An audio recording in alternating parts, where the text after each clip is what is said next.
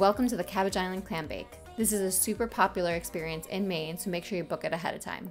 You hop aboard the Bennie Alice and take a scenic cruise ride to an island. For $70, you get the entire experience along with two lobsters, fish chowder, clams, corn, potato, onion, and blueberry cake. There was 198 lobsters and 70 pounds of butter. The assembly line moves quick. They served everyone in under 15 minutes. The lobster bib is a must.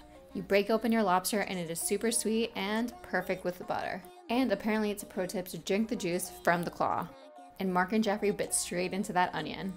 I suggest getting a seat right near the clam bake. That is not only where all the action happens, but it's also a beautiful view. It's a family run business and everyone was super passionate about what they did. And it is safe to say that is the best blueberry cake I have ever eaten. If you're heading to Maine, definitely add this to your list.